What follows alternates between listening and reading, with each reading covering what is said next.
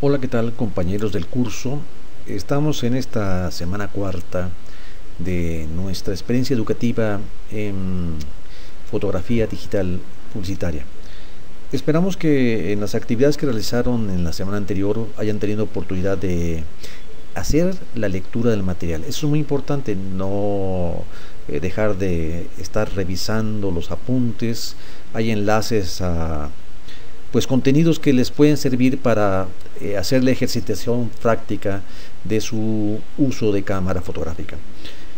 En el mismo sentido, para esta semana vamos nosotros a hacer una explicación teórica con algunos ejemplos y después daremos pautas para hacer otro portafolio de evidencias como parte del trabajo de aprendizaje de ustedes en esta etapa que vamos del curso, que es eh, el tema de la composición que veremos en esta semana.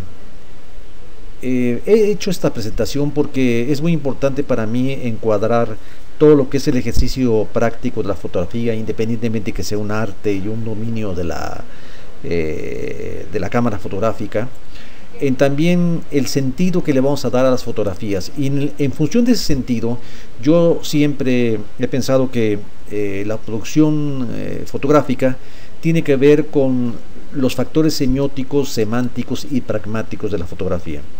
¿A qué me refiero con ello? Bueno, inicialmente los factores semióticos tienen que ver con la forma.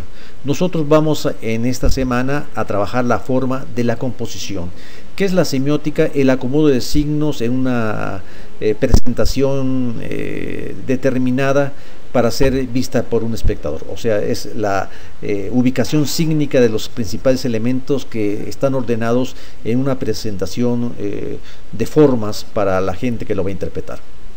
En ese sentido, eh, como comunicador, y lo vuelvo a resaltar, creador de fotografías, uno debe estar preparado para factorizar semióticamente, semánticamente y pragmáticamente sus fotografías. Eh, ya indiqué que factorizar semióticamente tiene que ver con la manera como uno arregla los elementos, las formas visuales, los signos visuales que van a caber dentro del encuadre fotográfico. Semánticamente tiene que ver con la eh, narrativa del mensaje que vamos a transmitir. Por ahí dije al principio del curso que la narrativa tiene que ver en, en, referencia a la fotografía con que vamos a construir un discurso informativo o un discurso emotivo o un discurso estético. Y los tres tienen mensajes o significaciones para el espectador. Ahí es donde hay eh, eh, denotaciones y connotaciones que eh, el espectador va a tener al recibir esa imagen fotográfica. Y la factorización pragmática consiste en el ámbito ya de aplicación real, incluso profesional, donde nos desempeñemos como fotógrafos. En ese caso, bueno, podemos hablar de que a lo mejor nuestro campo sea periodístico y la fotografía tendrá una tipología pragmática periodística o vamos a ser fotógrafos eh, documentalistas y entonces nuestra fotografía va a ser de tipo documentalista porque nos vamos a dedicar a hacer eh, eh, testimonios visuales, fotográficos, documentales. O a lo mejor nos ejercitamos en el campo de la arquitectura o, de la ingeniería y entonces es un campo más técnico de informes basados en fotografías para apoyar construcciones de edificios, de casas, urbanizaciones, etcétera. O también, en el caso nuestro, nuestro eh, nuestra factorización eh, pragmática es la publicidad. Y ahí ya vimos al principio del curso que la factorización pragmática tiene que referirse o se refiere a otras eh, subclasificaciones que pueden ser publicidad de servicios turísticos, publicidad de hotelería, publicidad de, restaurantes, publicidad de moda, publicidad de eh, artículos para caballero, publicidad de eh, eventos eh, de espectáculos, de artistas, etcétera, etcétera.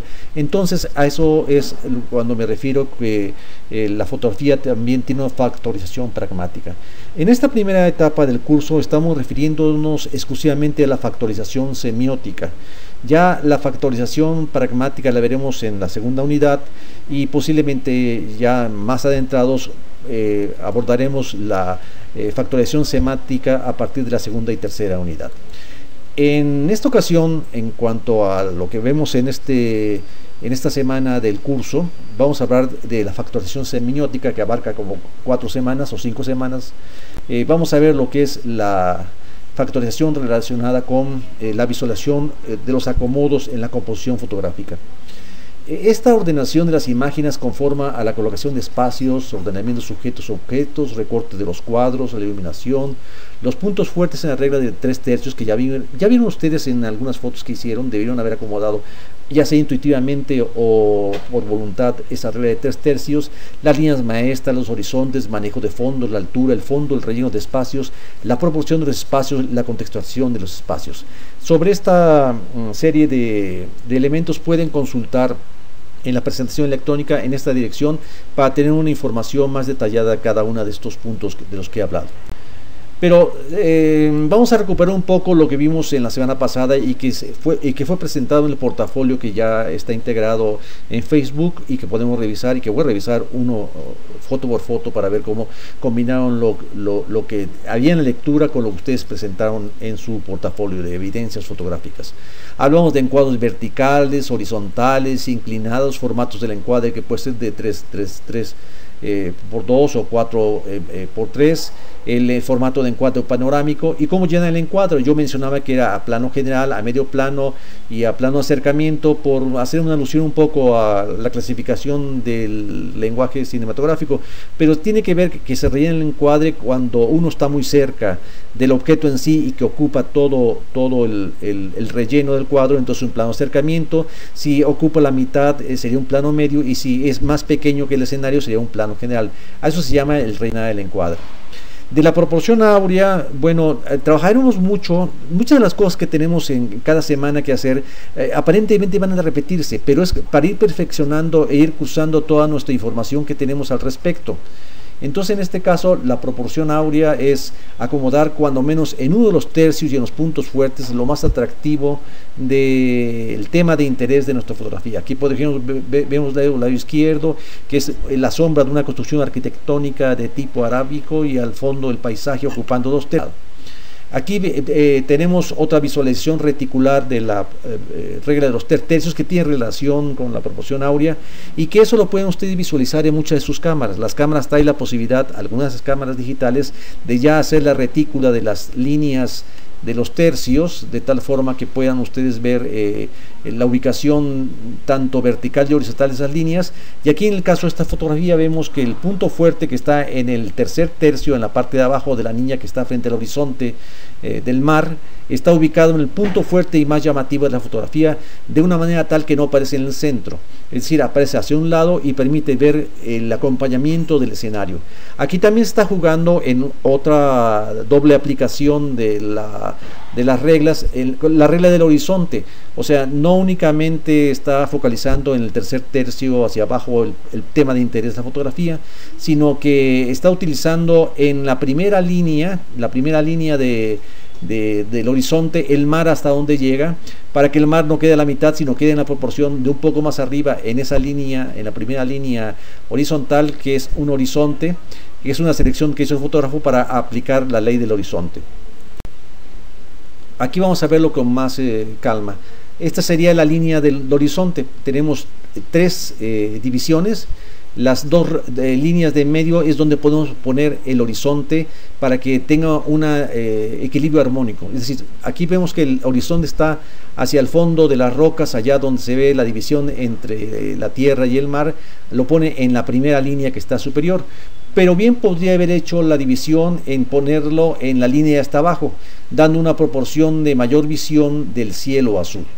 Em, eh, no seguir esta regla eh, no quiere decir que se haga una infracción, porque se puede hacer eh, la variación de poner el horizonte a la mitad, pero se recomienda que se utilice más esta ley del horizonte porque permite dar un equilibrio armónico y visualmente atractiva y que, y que se debe planear antes de tomar la fotografía.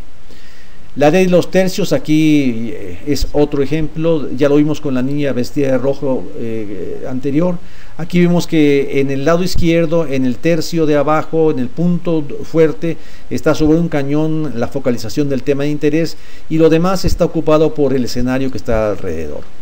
En este caso, volvemos a repetir, se divide el encuadre en nueve partes iguales. Algunas cámaras ya lo traen, eh, visualmente uno, imaginariamente, si no tiene esa posibilidad, lo puede hacer y uno lo va comendando casi intuitivamente.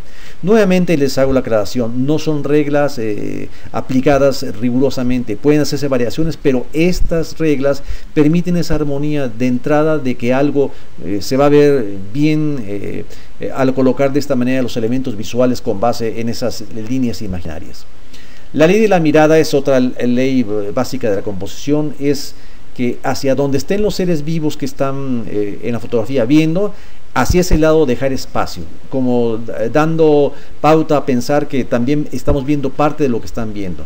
En este caso, los venados que están aquí, dos de ellos están mirando hacia la derecha y dejamos un espacio de pasto que está hacia la derecha ellos cargados un poco más hacia la izquierda.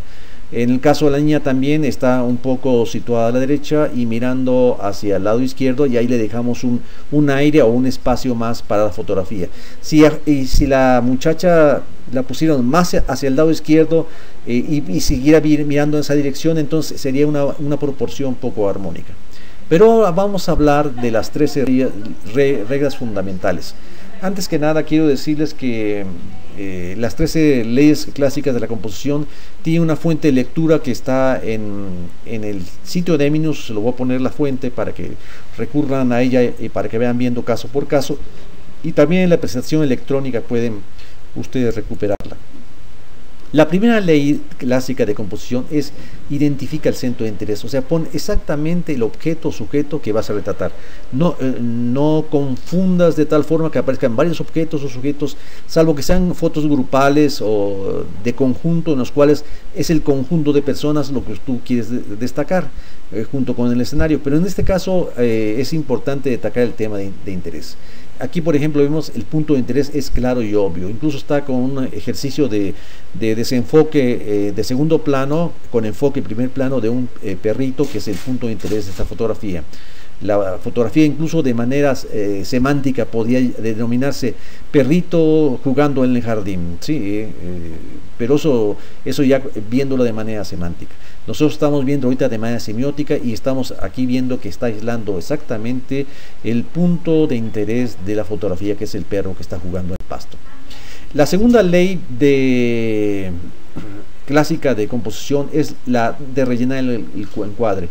Esto quiere decir que mm, eh, en un momento determinado, si si queremos asegurar que ese algo sea el punto de la, atención, debemos cerrar lo más posible sobre ese algo eh, el encuadre que nosotros tengamos en una especie de plano acercamiento.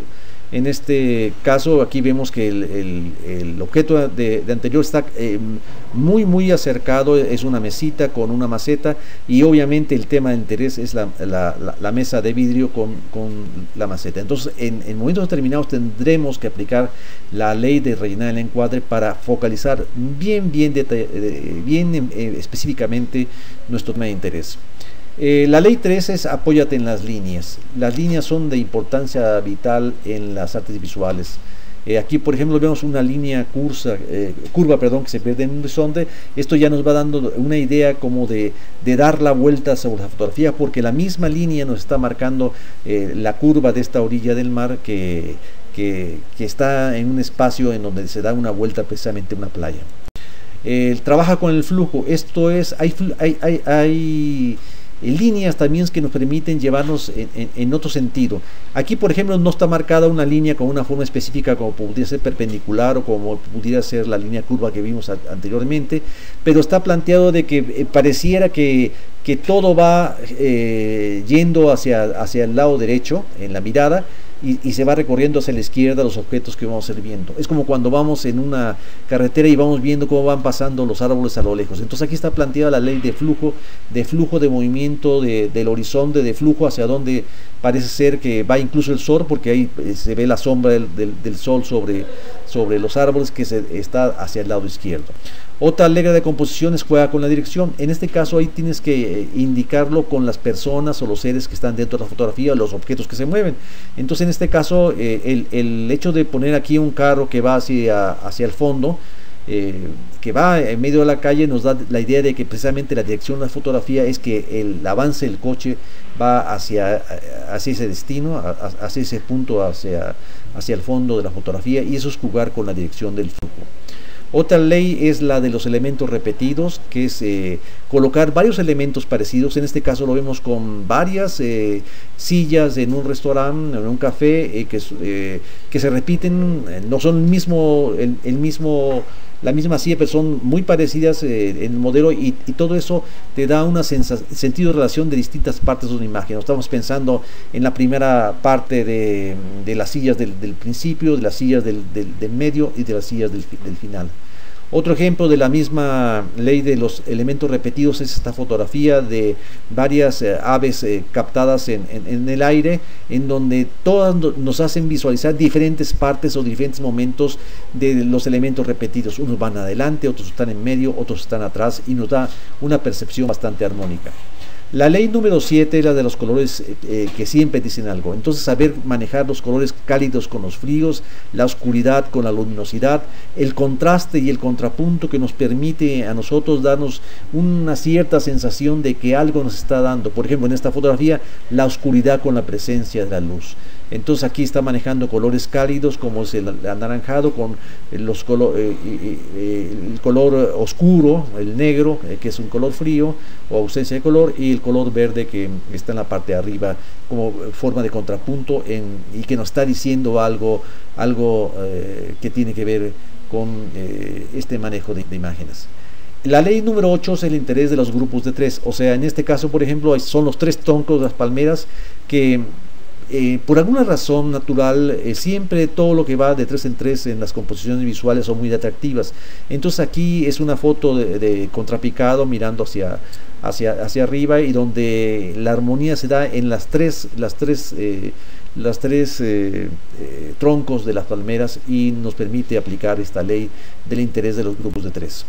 La regla de los tercios que ya hemos visto al principio de esta presentación o explicación, aquí el niño está con la niña en el tercio izquierdo, el punto fuerte hacia abajo, y los dos tercios restantes es la descripción del escenario, pero es claro que el punto de interés de esta foto son los niños jugando eh, en, la, en la fuente. El espacio negativo es colocar un objeto junto con un espacio eh, casi uniforme en el cual nosotros podemos contrastar y destacar nuestro espacio y lo demás puede ser una pared, puede ser mm, eh, eh, un espacio sobre una carretera, sobre un piso. Aquí tenemos otro ejemplo, aquí es una, es una especie como de, de, símbolo de aluminio de, de, alguna marca y alrededor está el espacio negativo y es el contraste que nos da un ejemplo de la ley número 10 del espacio negativo. La ley número 11 trabaja tras dimensiones, frente y fondo. Entonces aquí, por ejemplo, en el, primer, en primer plano, en el frente está esta eh, lata de Coca-Cola. Incluso esta foto es una fotografía publicitaria que todavía no vamos a abordar, pero bueno, aquí nos adelantamos. Y hacia el segundo plano vemos los estudiantes en la escalinata y en un tercer plano, en una composición que tiene también su dimensión de regla de tres, está eh, el, encuadre eh, planteado en, equilibrio de lo que se ve al, frente, equilibrado armónicamente, y lo que se ve atrás en el fondo. Ese es trabajar las tres dimensiones, frente y fondo.